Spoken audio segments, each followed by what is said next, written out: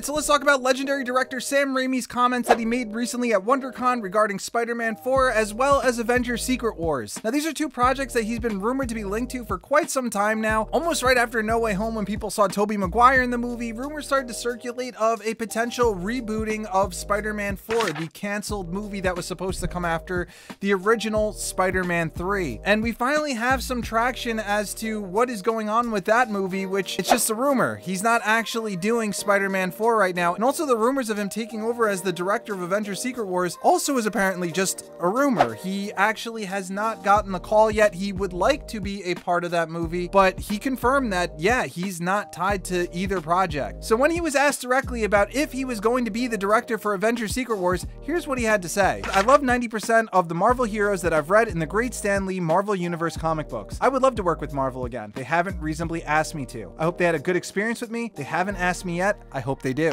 Raimi has also expressed interest in directing Spider-Man 4 with Tobey Maguire, a movie that fans have made no secret about wanting to see happen even after all these years. So here are my thoughts on this. Now, when it comes to Sam Raimi, I mean, this man has undoubtedly made a massive impact on the horror genre in movies, and he really did a great job with Spider-Man 1 and 2. And I know that Spider-Man 3 has been respected as time has gone on, but let's be honest, when that movie came out, it was it was a disappointment. And when it came to Doctor Strange, some things I liked, some things I didn't. So it's it's very difficult. Now, if you asked me back in 2006 if I thought that Sam Raimi should be the one to direct Avengers, it would probably be an ecstatic yes. I mean, after all, Spider-Man 2 is one of my favorite movies of all time, if not possibly my favorite superhero movie of all time. It's definitely my favorite Spider-Man movie. Now, when it comes to the recent Doctor Strange Multiverse of Madness, I mean, that movie definitely had a lot of issues, but it also had a lot of things that I enjoyed. And when it comes to Avengers Secret Wars, I just get a little bit nervous messing around because we are in a time where every movie counts quite a bit, in my opinion at least. I think that the general audience and consensus has become disillusioned with Marvel. I just feel that every movie moving forward needs to be great. And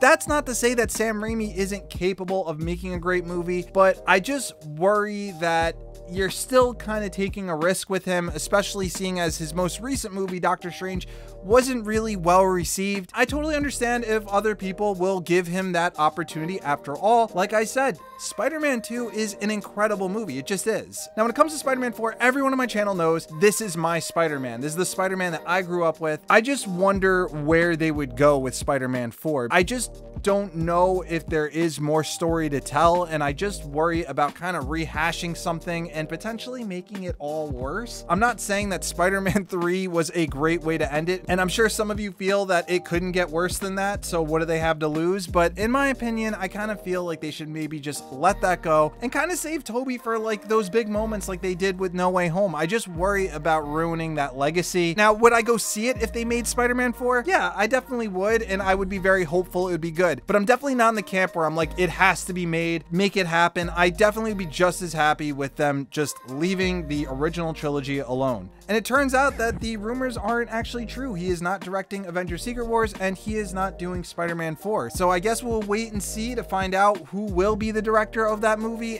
and if Spider-Man 4 will actually happen. I think right now they're just focusing on Tom Holland. There's been like a whole thing behind the scenes between Marvel and Sony involving that movie. For now, I think that's the priority and I kind of feel like that is where they should put their full attention because like I said earlier in the video, it is important that these movies get attention. Make good movies. And we can't just be leaning on the fact that it's Star Wars, it's a superhero that people love. If Sam Raimi gets the call, I mean, I'll be hopeful. He's not personally my first choice as much as I love the guy and I love what he's done. So anyways, that's my thoughts on Sam Raimi's statements. Let me know in the comments what you thought of his statements. Leave a like if you found this video entertaining or informative. Maybe consider subscribing if you enjoy the content on my channel. And as always, my name's Eric Rosas and I hope you all have a fantastic day.